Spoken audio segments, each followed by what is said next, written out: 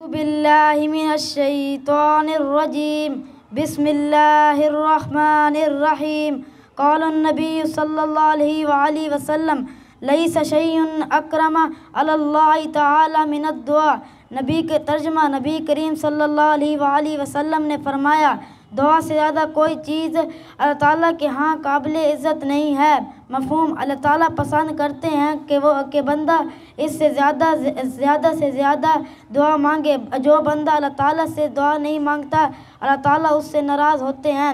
جب حضرت یونس علیہ السلام مچھلی کے پیٹ میں قید ہوئے قید ہوئے تو اللہ تعالیٰ ہی کو پکارا۔ نبی کریم صلی اللہ علیہ وآلہ وسلم نے بھی ہر موقع پر اللہ تعالیٰ ہی کو پکارا۔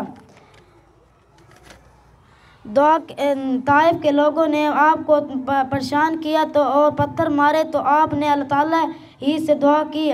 ہمیں بھی ہر کام میں کامیابی کے لیے اللہ تعالیٰ کو پکارنا چاہیے، کیونکہ اللہ تعالیٰ کے نزدیک دعا کی بہت زیادہ قدرت منزلت ہے۔ شکریہ۔